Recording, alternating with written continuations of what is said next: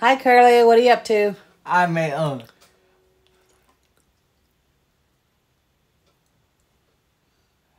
salsa. Yes, good job.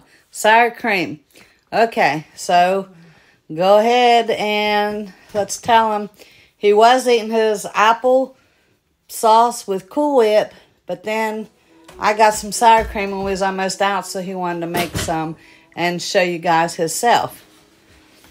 And you're gonna use yogurt. Yeah. Yeah. You got it? Oh yeah, I think that's plenty enough. You gonna put it in your jar? you gonna stand there and hold? Oh, that's good. You're fine. It ain't gonna hurt it any.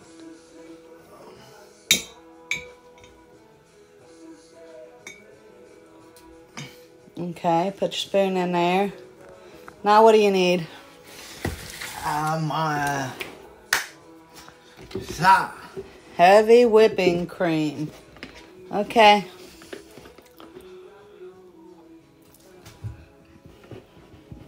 Is it all good? Did you smell it? you move this please? Oh, if you need it moved. Sure.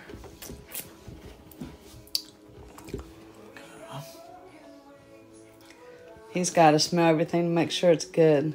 Yeah. Um, Zach, just dump it in there. one. Mega one. You're going to get it in the jar, I hope.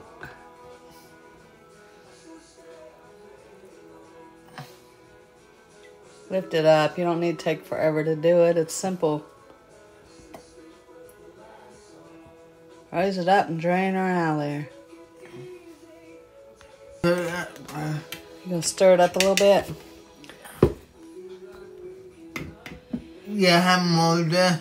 Nope. That's just gonna have to be enough for now. And then when we, oh wow, I could have used the old sour cream too. Yeah. No, we're gonna do it just like this. Yeah, please. Please Please. stir it up. I said please. Nope. I'm tired. I've worked in the garden this morning. We got the commode hooked up. No more. No, That's I'm good oh, enough. mad you. But there you go. He's going to put a lid on it and stick it in the oven to warm for like 12 hours, and then the sour cream will be ready. And you put it in the fridge, and it thickens up even more. Hey, we can show them our other. Okay, hold on. And here's our, our other sour cream. He's gonna going to show you. I'll put it over there, but open that. Mm. I like yogurt too.